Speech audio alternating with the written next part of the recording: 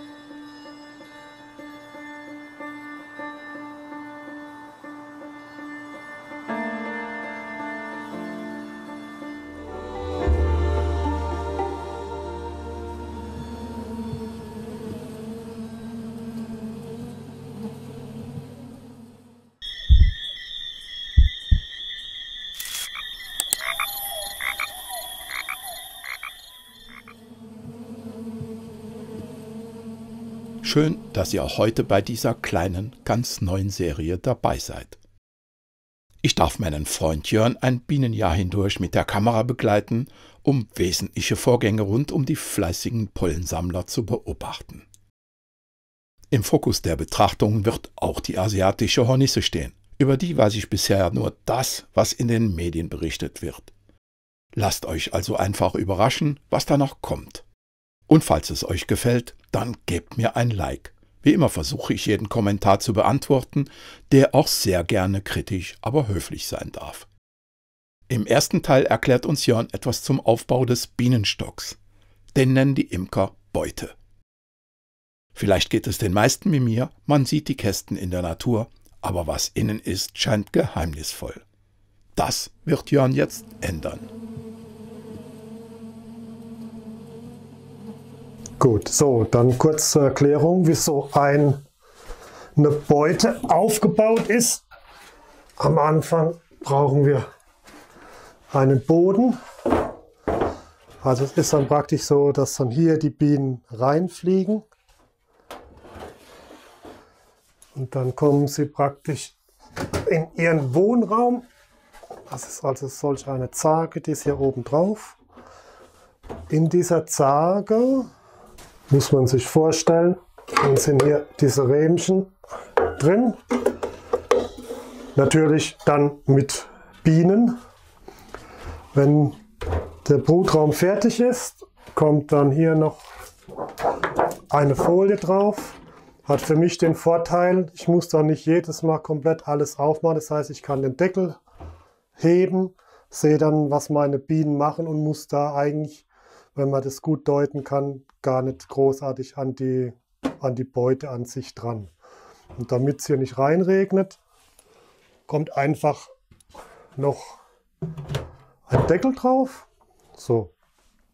Und ähm, wenn die dann im Freien stehen, kommt auf diesen Deckel einfach noch als Regenschutz so ein Edelstahldeckel drauf. Also wie gesagt, das ist eine Beute mit einem Wohnraum und ein Laie, für den ist es einfach ein Bienenstock.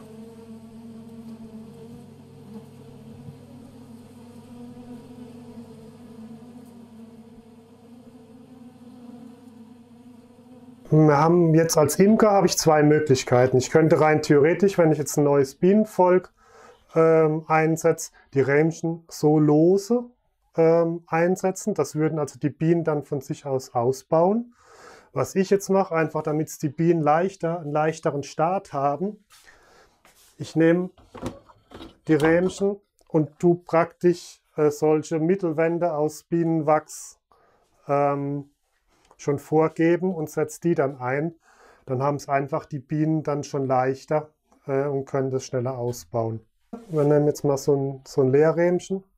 So. Und dann hat man hier vorgegebene Mittelwände, wie gesagt, aus reinem Bienenwachs. Die werden dann praktisch in solchen Rähmchen reingelegt und dann ähm, eingelötet. Das heißt, dann habe ich praktisch hier äh, von meinem Lötgerät Plus und Minus und mache dann nichts anderes wie hier in die schönen Löcher, wo der Draht durchkommt, halte ich das eine an, auf der anderen Seite das andere an. Dann wird der Draht wie so ein heißer Draht das Wachs schmilzt und dann sinkt praktisch die ganze Platte in das Rähmchen rein.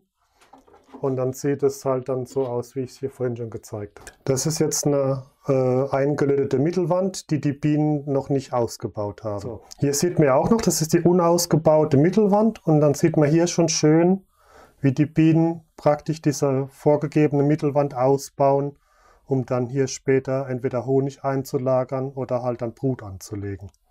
Die sind bis zu 6 mm.